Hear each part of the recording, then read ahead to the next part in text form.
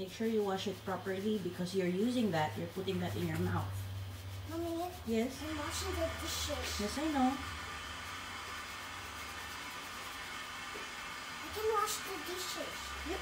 Make sure you wash your dishes first.